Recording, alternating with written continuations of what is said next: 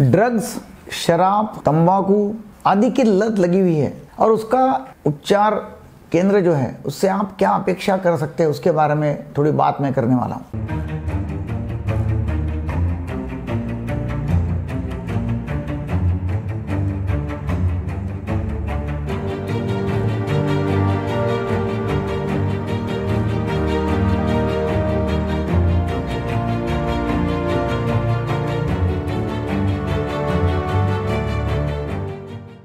गांजा मतलब cannabis marijuana फिर ब्राउन शुगर सो मेनली ये आते हैं।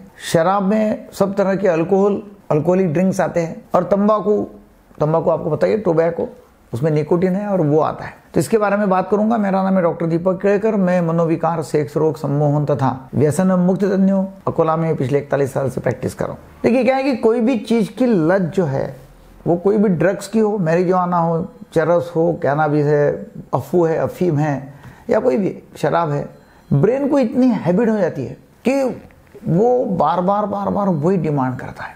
ये ये जो लत लगती है ना, ये जो चीज़ें हैं, ये जो सब्सटेंसेस है, इससे बहुत बार डोपामिन सिक्रेशन होता है और डोपामिन सिक्रेशन का जो मज़ा है, वो मज़ा लेने के लिए वो लोग बार बार बार बार वो लत लगा के लेते हैं।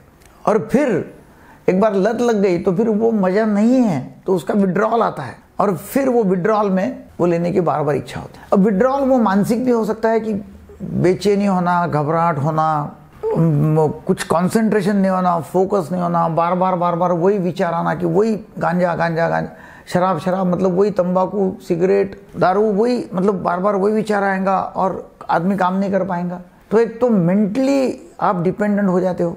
मतलब कोई व्यक्ति डिपेंडेंट है मेंटली और दूसरा है वो फिजिकली भी डिपेंडेंट हो अब फिजिकली डिपेंडेंट मतलब हाथ कांपना, छाती में, सीने में धड़ धड़ धड़ धड़ धड़ धड़ धड़ होना, घबराहट, बेचैनी, इधर से उधर, इधर से उधर रेस्टलेसनेस है, नींद नहीं आना, भूख नहीं लगना, उल्टियाँ होना, पसीना आना ब्लड प्रेशर लो हो जाना, ऐसी शारीरिक विड्रॉल सिम्टम्स भी आपको दिखाई देते हैं। और फिर वो ऐसा हो गया तो वो लिए बिना उसको ठीक लगता ही नहीं तो फिर वो कैसा भी करके फिर वो जाके पिएगा और अपने आप को ठीक करे। फिर उसमें वो देखता नहीं कि भाई पत्नी के गले का मंगलसूत्र छीन लिया या माँ के जेब में से या माँ की पर्स में से पैसा छीन लिया या पिताजी के पर्स में से पैसा छीन लिया या घर की चीज़ें बेच दिया। जो भी उसको लगता है वो या बार बार जा, बाहर जाके भीख मांगेगा लोगों को बोलेगा मेरी माँ मर चुकी है उसका अंत्यविधि करना है पैसा दो। मतलब यहाँ तक देखा है मैंने।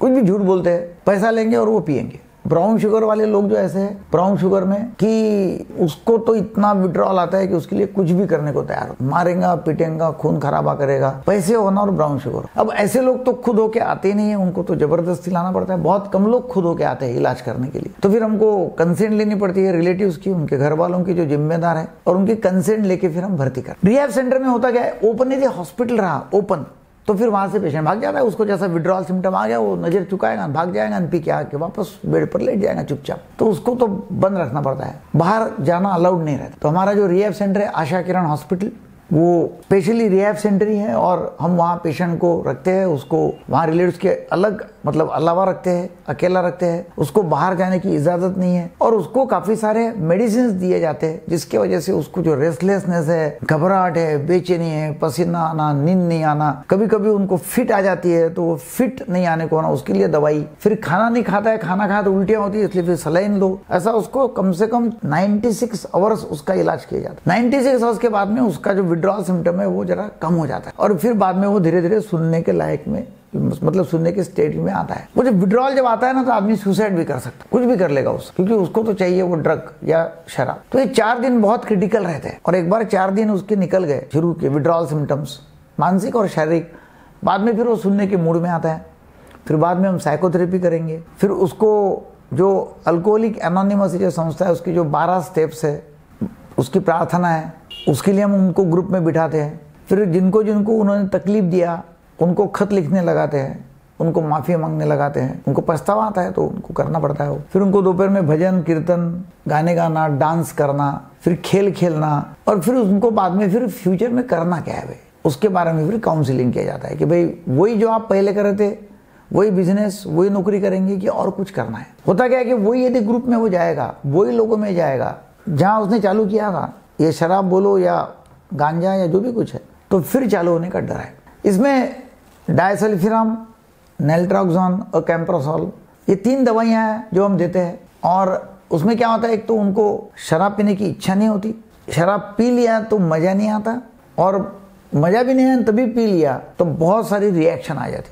उल्टियाँ सुल्टियाँ होना खराब मतलब ब्लड प्रेशर डाउन होना, चक्कर आना, घबराहट मतलब ऐसा हो जाता उसको कि लगता मरता मैं। तो वो जो डर है एवर्शन उससे फिर वो पीता नहीं है। तो एक तो इच्छा भी नहीं होती, मज़ा भी नहीं आता, या डर से पीता भी नहीं है। एक साल तक ये दवाई उसको लेनी पड़ती है, ताकि उसको डर है कि मैं पीऊँगा तो मेरे को रिएक्शन आएगा। और उसको प्रोटेक्टेड एनवायरमेंट में मतलब वही एनवायरमेंट में जाने का नहीं है, जो पहले था। तो इसलिए फिर हम रिकमेंड करते कि अल्कोहलिक एनोनिमस ये जो संस्था है जहाँ लोग आते हैं, जिनको छोड़ने की इच्छा होती है, और जो छोड़ के इकट्ठा आके एक दूसरे को सपोर्ट करते हैं, वहाँ बैठो और वहाँ अपना इलाज। तो इस तरह का है। आपको यदि ऐसा लगा कि नहीं, हमको ये यहाँ पेशेंट को रखना है तो डेफिनेटली आप नीचे नंबर दिए हुए, वहाँ कॉन्टेक्ट करके अपॉइंटमेंट लेके आ सकते हैं। हम यूजली पेशेंट को एक महीना रखते हैं। वैसे दो महीने, तीन महीने में भी रख सकते हैं। और कुछ लोग बोलते नहीं नहीं, हम तो इतना रह सकते नहीं है। तो दो दिन रहेंगे, चार दिन रहेंगे, वहाँ से होता नहीं एक्चुअली दो चार दिन में कुछ होता नहीं। चार दिन में कुछ शराब छुट्टी नहीं है जो सालों की है। सालों की लत लगी, चार दिन में किसी का छूटेगी। तो वैसे नब्बे, नाइन्टी डेज़ उसको डी एडिक्शन प्रोग्राम में रहना ज़रूरी है।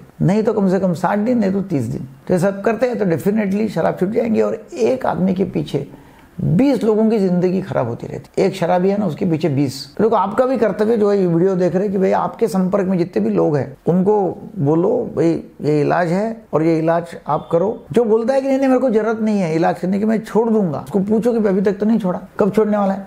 नहीं नहीं, जब मन में आया तब छोड़ूँगा, मन में तो आने वाला है नहीं। नहीं नहीं, पिछले बार छोड़ा था मैंने एक महीना और चालू तो किया ना, फिर फ़ायदा क्या छोड़ने का? तो इसलिए इसलिए छोड़ने के लिए इलाज करना ही ज़रूरी है। So thank you very much आप सभी को शेयर करो ये चैनल को सब्सक्राइब करो लाइक करो। आप लोगों का ख्याल रखो कि भाई नहीं, आपके आजू बाजू में बहुत सारे लोग हैं जो पी रहे हैं, उनका परिवार का ख्याल रखो, आपका ख्याल रखो, क्योंकि सभी लोग हमारे लिए बहुमूल्य है। Thank you very much